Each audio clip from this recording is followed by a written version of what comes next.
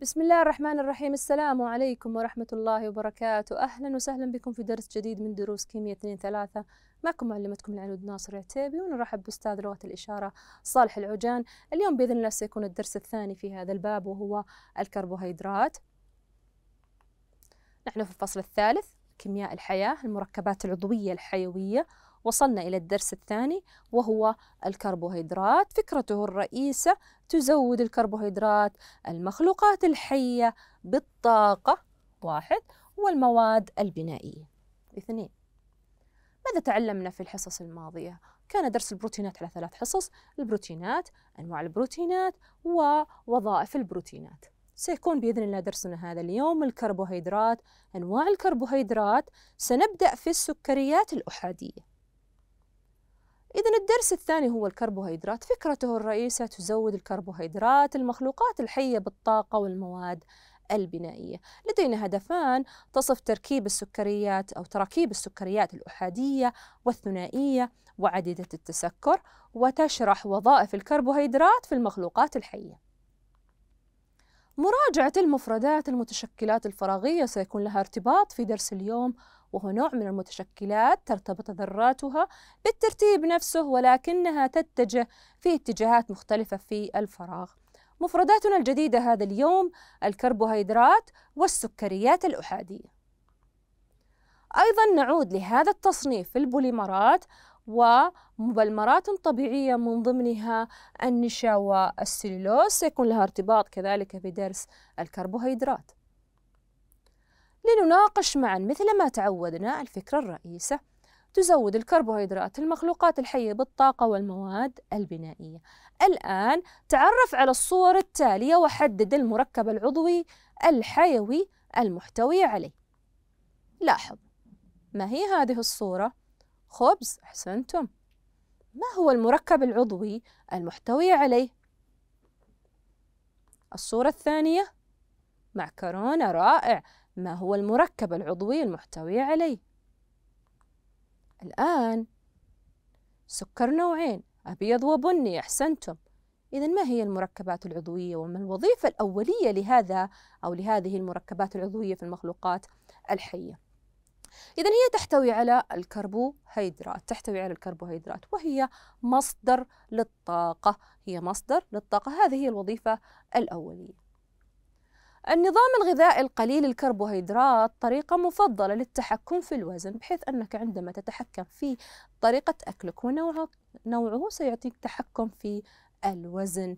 إذا الكربوهيدرات هي مصدر مهم لطاقة الجسم. وصلنا في هذا التصنيف المركبات العضوية للجزء الثاني فيه وهي الكربوهيدرات وانتهينا من البروتينات. الآن لنقوم بتعريف الكربوهيدرات ونشرح بالتفصيل عنها. أولا تعريفها هي من ضمن أنواع المركبات العضوية وهي حيوية إذا هي مركبات عضوية. هنا تحتوي على عدة مجموعات من الهيدروكسيل إذا أكثر من مجموعة هيدروكسيل. وأيضا مجموعة من الكربونيل مجموعة من الكربونيل. بما أنها مركبات عضوية إذا تتكون من الكربون ومن الهيدروجين وبأنه يوجد لدي مجموعة كربونيل إذا يوجد لدي أيضا عنصر الأكسجين. إذا العناصر المكونة للكربوهيدرات كربون وهيدروجين وأكسجين. الصيغة العامة CnH2n H2O N.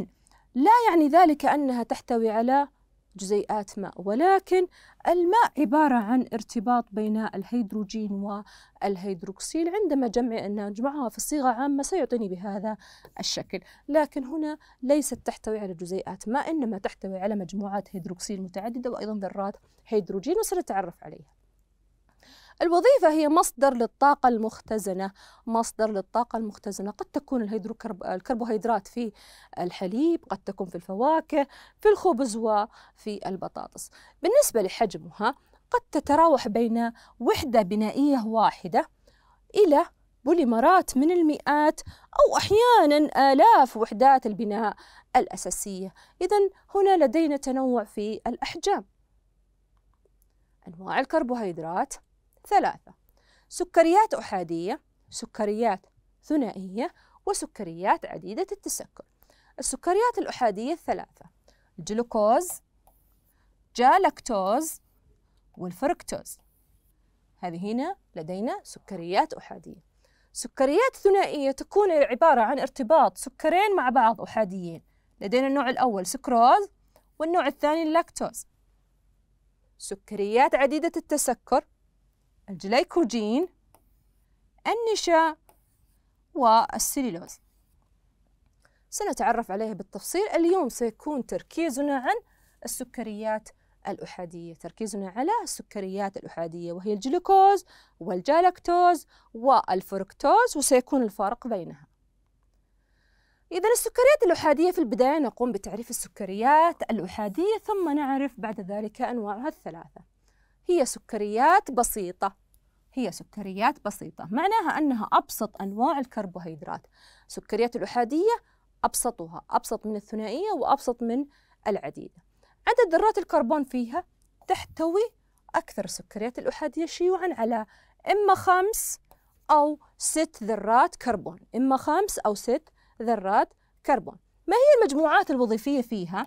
ما هي المجموعات الوظيفية فيها؟ مجموعة الكربونيل اللي هي ال C double bond O توجد على إحدى ذرات الكربون. أيضا تحتوي على مجموعات الهيدروكسيل مجموعات الهيدروكسيل اللي هو ال OH على معظم ذرات الكربون الأخرى. إذا مجموعة الكربونيل ستكون على واحدة من ذرات الكربون المجموعات الهيدروكسيل ستكون على بقية آه، ذرات الكربون. قد تكون السكريات الأحادية إما ألدهيدات أو كيتونات. ما الفرق بين الألدهيدات والكيتونات؟ ما الفرق بينهم؟ الدهيد سيكون في نهاية السلسلة C double bond O H بعد ذلك السلسلة. إنما الكيتون سيكون ال C double bond O بين كربون وكربون. إذا هذه هي نوعين من السكريات الأحادية حسب موقع الكربونيل أين سيكون. إذا كان في نهاية السلسلة سنقول عنه ماذا؟ الدهيد أحسنتم. وإذا كان في وسط السلسلة سنقول, سنقول سكر أحادي نوعه كيتوني. أيضا بالنسبة للذوبان طبعا هي تذوب في الماء. ما السبب في ذوبانها في الماء؟ ماذا يوجد فيها؟ توجد فيها مجموعة الكربونيل توجد فيها مجموعة الهيدروكسيل وهي أساسا مجموعات قطبية لذلك ستذوب في الماء. إذا هي قابلة للذوبان في الماء. بالنسبة للانصهار عندما تقوم بوضع السكر على النار ماذا سيعطيني؟ كراميل أحسنتم. إذا هو لدينا في هنا ينصهر فدرجات الانصهار هنا ستكون عالية. الآن النوع الأول وهو الجلوكوز. لاحظ لدي شكلين شكل سلسلة مفتوح وشكل حلقي ما هو الجلوكوز؟ لابد أن تحدد نوعه هو سكر أحادي لاحظ الآن عدد ذرات الكربون قم بعدها. واحد اثنين ثلاثة أربعة خمسة ستة. إذا تحتوي على ست. إذا هو سكر سداسي. أيضا ماذا موجود فيه؟ ما هي المجموعة الوظيفية فيه؟ مجموعة الكربونيل مجموعة الكربونيل هل تقع في نهاية السلسلة أم في الوسط؟ في النهاية إذا نوعه ألدهيد إذا هي تحتوي على مجموعة كربونيل نوعه ألدهيد لماذا هو ألدهيد؟ لاحظ أنها موجودة في نهاية السلسلة أين يوجد الجلوكوز؟ موجود في الدم لذلك يسمى بسكر الدم ومصدر للطاقة. هذا هو وظيفته بما أنه موجود للدم فيعطيني مباشرة طاقة وترفع الطاقة في الجسم. الآن لنركز على شكل شكل السلسلة آه، المفتوحة لاحظ هنا الكربونيل. لاحظ ماذا يوجد لدي في هذه الذرة الأولى هذه الذرة الثانية الثالثة الرابعة الخامسة السادسة. مجموعة ال OH على اليمين. الثانية مجموعة ال OH على اليسار بعد ذلك مجموعة ال OH على اليمين في الرابعة والخامسة والسادسة لاحظت؟ بعد ذلك في الشكل الحلقي لاحظ أين هي موجودة؟ أين هي موجودة ال OH؟ هنا إذا ركز حتى نقوم بعد ذلك بالمقارنة بينه وبين المركبات الأخرى النوع الثاني هو الجالكتوز أيضا هو سكر أحادي هو سكر أحادي عد عدد ذرات الكربون. واحد اثنين ثلاثة أربعة خمسة ستة. رائع. إذا هو سكر سداسي. ما هي المجموعة الوظيفية فيه؟ لاحظ ما هي؟ كربونيل. إذا كربونيل. هل توجد في نهاية السلسلة أم في الوسط؟ موجودة في نهاية السلسلة. إذا هو ألدهيد. لكن ركز في مجموعات الكرب عفوا مجموعات الهيدروكسيل. هنا واحد هنا لاحظ اثنين هنا بعد ذلك اثنين. هنا إذا هنا اختلاف في هذه ذرة الكربون آه، رقم أربعة إذا هنا لدينا اختلاف إذا يختلف عن الجلوكوز في اتجاه وفي ذرة هيدروجين واحدة ومجموعة هيدروكسيل أيضا واحدة حول إحدى ذرات الكربون الستة إذا اختلف في الاتجاه ماذا نسميه في هذه الحالة؟ ماذا نسميه؟ نسميه متشكل. إذا المتشكل هل هو متشكل بنائي؟ هل هو متشكل ضوئي؟ هل هو متشكل هندسي؟ ماذا نسميه؟ طبعا هنا في الاتجاه إذا نسميه أو في الفراغ نسميه اللي هو متشكل هندسي. إذا لدينا النوع الثاني من السكريات الأحادية وهو الجالكتوز وهنا فرق بينه وبين الجلوكوز في إحدى ذرات آه، أو مجموعات الهيدروكسيل. الآن انظر نقارن مرة أخرى.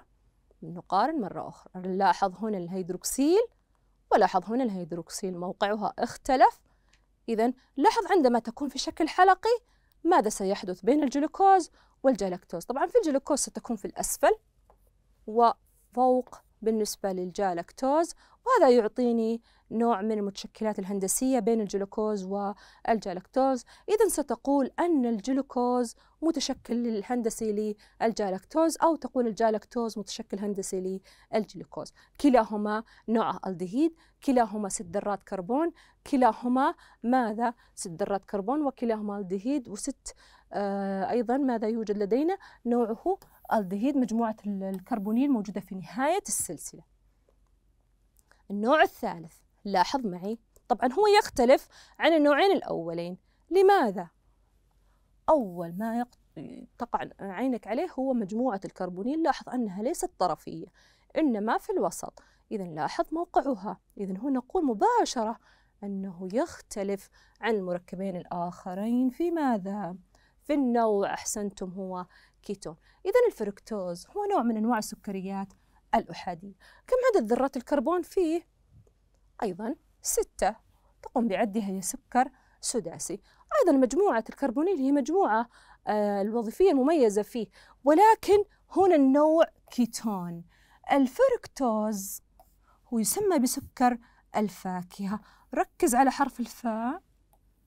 هنا نقول فركتوز موجود في الفاكهة فاربط بحرف الفاء هنا يسمى بسكر الفاكهة. لماذا سمي بسكر الفاكهة؟ لأنه يوجد في الفواكه. الآن هو نوعه متشكل لكن بنائي للجلوكوز. متشكل إنما ليس هندسي. هنا في هذه الحالة سيكون متشكل بنائي للجلوكوز. إذا السكريات الأحادية في محلولها المائي إما توجد في صورة حلقات أو في صورة سلسلة مفتوحة. رأيناها قبل قليل عندما تكون حلقة وعندما تكون في صورة مفتوحة. أيضا السكريات الأحادية تغير شكلها باستمرار وبسرعة تغير شكلها باستمرار وبسرعة.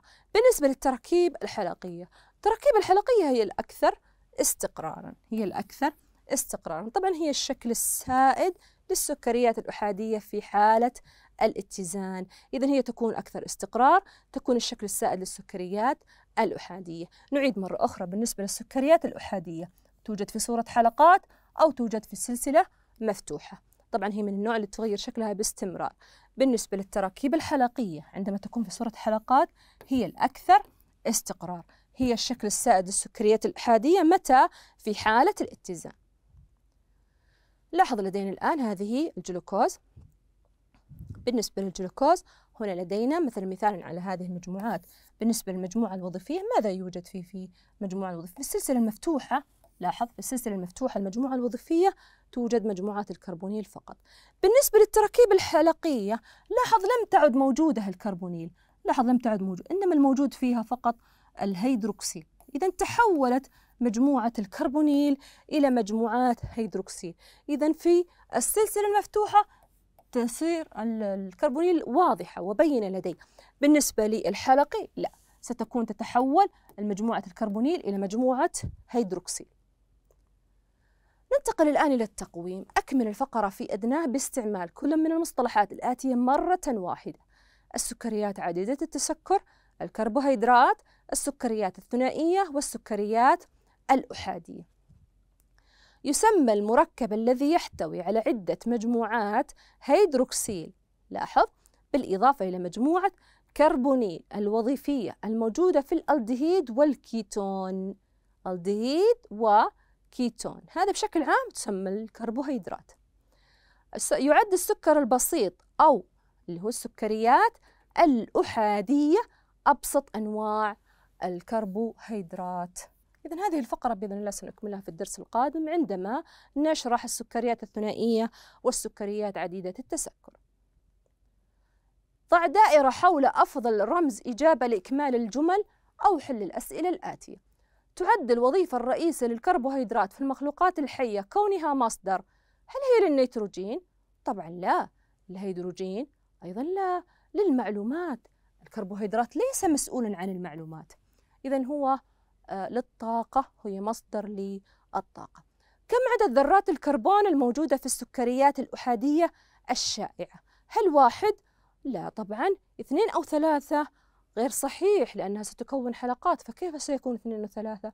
تسعة وعشرة أيضا غير صحيح الإجابة الصحيحة هي خمسة أو ستة معظم أنواع السكر البسيطة قابلة للذوبان في الماء لأنها إذا كانت تذوب في الماء والماء قطبي لابد أن تكون أيضا المجموعات فيه مجموعة قطبية. بالنسبة للمجموعات غير القطبية هنا لا تذوب في الماء ذرات الهيدروجين خطأ وذرات الكربون خطأ. توجد السكريات الأحادية في المحلول المائي على صورة هل بوليمرات في المحلول المائي. أم تراكيب حلقية تراكيب بنائية مفتوحة السلسلة أم تراكيب بنائية مفتوحة السلسلة والحلقية الجواب الصحيح أنها مفتوحة السلسلة وأيضا حلقية. سم متشكلين للجلوكوز. متشكلين للجلوكوز. لدينا متشكل هندسي ولدينا متشكل بنائي. إذا الفركتوز والجالكتوز. فركتوز هندسي الجالكتوز عفوا الفركتوز بنائي والجالكتوز هندسي. السكريات أعطي مصطلحا علميا لكل من. سكر الدم. ما هو السكر؟ البسيط الذي يكون اسمه سكر الدم هو الجلوكوز. أحسنتم. سكر الفاكهة اربط بين حرف الفاء وحرف الفاء في الفركتوز. إذا هنا لدينا الجواب الثاني هو الفركتوز. إذا ماذا تعلمنا اليوم؟ تعلمنا الكربوهيدرات أنواع الكربوهيدرات ثلاثة سكريات أحادية سكريات ثنائية وسكريات عديدة التسكر. أيضا أخذنا السكريات الأحادية وأنواعها الثلاثة الجلوكوز الجالكتوز والفركتوز. حيث أن الجلوكوز هو متشكل هندسي للجالكتوز والفركتوز هو متشكل بنائي للجلوكوز. نشاط منزلي قارن بين السكريات الأحادية الجلوكوز والجالكتوز والفركتوز من حيث الصيغة. أيضا من حيث المجموعة الوظيفية وموقعها من حيث التسمية من حيث المتشكل البنائي. إلى هنا طلابي نصل إلى نهاية درسنا لهذا اليوم. شكرا لكم لحسن استماعكم. السلام عليكم ورحمة الله وبركاته.